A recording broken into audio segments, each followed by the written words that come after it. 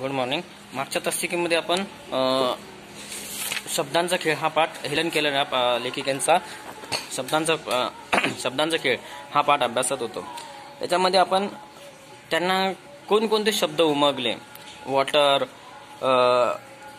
Wow wow पाण्याच्या म्हणजे त्यांच्या लेखिकेने त्यांच्या बाईंनी विहिरीवरती एका बाईच्या हातून त्यांच्या हातावरती पाणी ओतायला लावलं आणि त्या पाण्याचा शब्द म्हणजे त्यांच्या त्यांना समजलं पाणी वॉटर पाण्याला वॉटर असं का का म्हणतात? म्हणजे पाण्याला वॉटर शब्द काय आहे? तर त्यांच्या हातावरती पडणारं थंडगार जे पाणी आहे आणि उघळ उगळ उगळणारं पाणी त्याला काय म्हणतात? पाणी असं म्हणतात हे त्यांना त्यावेळेला जाणवलं. त्याच्यानंतर असे बरेचसे अडथळे त्यांच्या जी- जीवनामध्ये होते आणि ते लवकरच दूर होणार होते असं लेखिकेला जाणीव झालेली होती. कारण त्यांच्या बाई ज्या होत्या त्या त्यांना शिकवत असताना त्यांना असं जाणवलं की आपल्याला आपलं अंधारमय जीवन प्रकाशाकडे जात आहे आणि त्यांना नवीन एक नवीन शिक म्हणजे शिकण्याची काही आशा निर्माण झालेली होती त्यांच्यामध्ये आणि त्यांना आनंदसुद्धा खूप झालेला होता. आणि म्हणून त्यांना असं वाटत होतं की आपल्या जे अडथळे आहेत ते अडथळे दूर होऊन ते लवकरच दूर होतील आणि त्यांचं जीवन प्रकाशमय होईल. म्हणजे अंधारातून त्या मुक्त होऊन प्रकाशाकडे पुढे जातील असं त्यांना वाटत होतं. पुढे आपण अभ्यासणार आहोत. पुढे आपण अभ्यासणार आहोत. विहिरीपासून मी परतले आणि तिथून त्या विहिरीपासून निघाल्या. तेव्हा मन नवीन गोष्टी शिकण्यासाठी आतुर झालं होतं आणि त्यावेळेला त्यांना असं वाटत होतं की आपण काहीतरी नवीन गोष्टी शिकायला पाहिजेत. असं त्यांना म्हणजे त्यांचं मन आतुर झालं होतं की आपण नवीन गोष्टी काही ना काहीतरी नवीन गोष्टी शिकल्या पाहिजेत असं त्यांना वाटायला लागलं होतं. आता प्रत्येक गोष्टीला नाव होतं. आणि नावा नावातून उम उमलत होता एक नवा विचार. आणि त्यांना त्यावेळेला जाणवलं की प्रत्येक गोष्टीला काही ना काहीतरी नाव आहे. आणि त्या नावानावातूनच एक त्यांच्या नवी त्यांच्या मनामध्ये एक नवीन विचारसुद्धा उमलत होता. म्हणजे नवीन विचारसुद्धा तयार होत होता. घरात आल्यावर मी स्पर्श करायची. ती प्रत्येक वस्तू जशी स्पर्शागणिक चैतन्याने थरथरायची.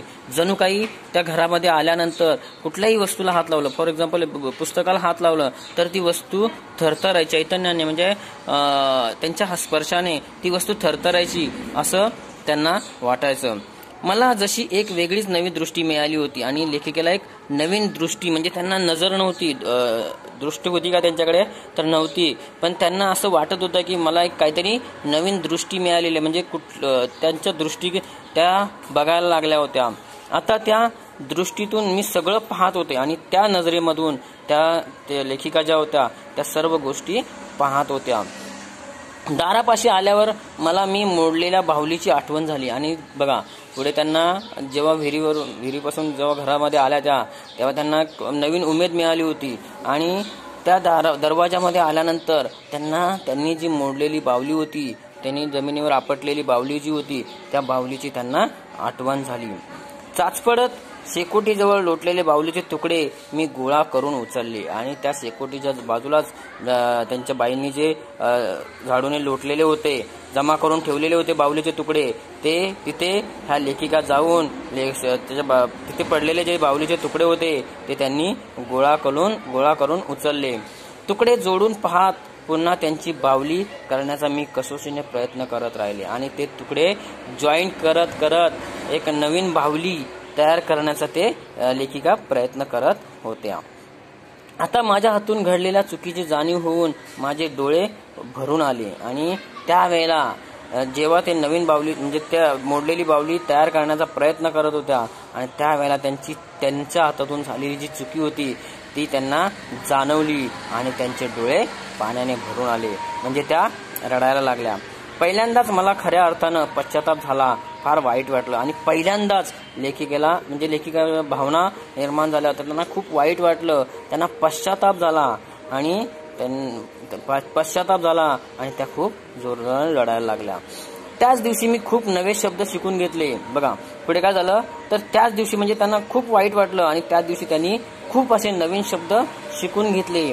ते सगळेच काही नेमके कोणते ते आता आठवत नाही. म्हणजे हा जो पाठ त्यांनी लिहिला त्यावेळेला हे काही शब्द सर्व त्यांना आठवत नव्हते त्यावेळेला. पण त्यांनी त्या दिवशी बरेच काही शब्द शिकले होते हे त्यांना माहिती आठव आठवत होतं तसं त्यांनी आपल्याला या पाठामध्ये सांगितलेलं आहे. पण त्यात त्यामध्ये काही शब्द त्यांना आठवत होते त्याचं त्यांनी सांगितलेलं बघा कोणकोणते शब्द आहेत. पण त्या शब्दामध्ये शब्दात आई बाबा बहीण बाई हे शब्द होते एवढं निश्चित. मग त्या शब्दांमध्ये म्हणजे जे ते त्या दिवशी जे शब्द शिकले होते त्या शब्दांमध्ये आई बाबा बहीण बाई हे शब्द त्यांनी शिकले होते. एवढं नक्की त्यांना निश्चित आठवत होतं. आयुष्यात नव्यानं आलेल्या या शब्दांनी माझ्या भावविश्वात पालवी फुटली आणि हा आयुष्यामध्ये नवीन आलेल्या ज्या नवीन आलेले जे शब्द होते ह्या नवीन शब्दांनी त्यांच्या भागविश्वामध्ये त्यांच्या जीवनामध्ये एक नवीन उमेद निर्माण केली होती नवीन पालवी निर्माण झाली होती त्यांच्या जीवनामध्ये. तो दिवस माझ्या दृष्टीनं फार नाट्यमय होता आणि तो दिवस लेखिकेच्या दृष्टीने खूपच खूपच आनंदमय असा लेखिकेच्या दृष्टीने होता. मा रात्र मी माझ्या चिमुकल्या पलंगावर झोपी गेले. रात्री मी माझ्या चिमुकल्या म्हणजे छोटासा जो पलंग होता लेखिकेचा त्या छोट्याशा पलंगावर झोपी गेले. तेव्हा माझ्या इतका दुसरा आनंदी जीव कुठे सापडला नसता. मग लेखिका पुढे काय सांगते बघा आपल्याला. की ज्या वेळेला संध्याकाळी रात्री लेखिका आपल्या पलंगावरती झोपी गेल्या त्यावेळेला लेखिकेसारखा दुसरा कोणीही जीव इतका आनंदी नसेल असं लेखिकेला वाटत होतं. दिवसभराच्या आनंददायी आठवणी पुन्हा पुन्हा मी आठवत राहिले आणि संपूर्ण दिवसभरामध्ये ज्या ज्या काही घडल्या होत्या ज्या ज्या काही आठवणी घडल्या होत्या त्या झोपेमध्ये त्या पुन्हा पुन्हा पुन्हा पुन्हा त्या आठवत राहत होत्या.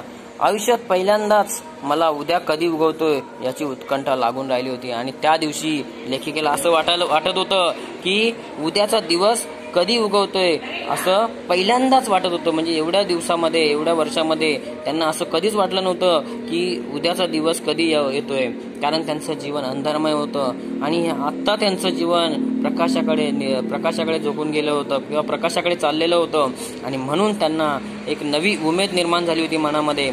आणि म्हणून त्यांना असं वाटत होतं की उद्याचा दिवस कधी उग उगवतोय याची त्यांना उत्कंठा लागून राहिली होती.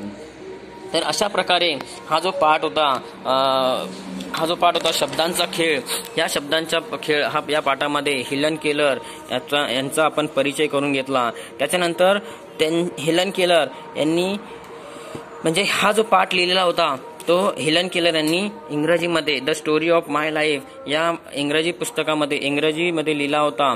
पण त्याचं मराठी अनुवाद श्री माधव कर्वे यांनी माझी जीवन कहाणी या पुस्तक रूपाने केलेला आहे आणि तो आपल्यासमोर मांडलेला आहे. आणि ह्या पाठामध्ये आपल्याला माधव कर्व्यांनी म्हणजे ती तिहेरी अपंगत्व असताना भाषा शिक्षणात येणारे अडथळे दूर करण्यासाठी त्यांनी व त्यांच्या शिक्षिकेने कशा प्रकारे प्रयत्न केले याचं वर्णन आपल्याला या पाठामध्ये सांगितलेलं होतं. तर अशा प्रकारे हा पाठ संपलेला आहे. तर आता तुम्ही ह्या पाठाचे शब्द शब्दार्थ लिहायचे आहेत आणि या पाठांचे प्रश्न उत्तर अभ्यासाचे पाठांतर करायचे आहेत. धन्यवाद.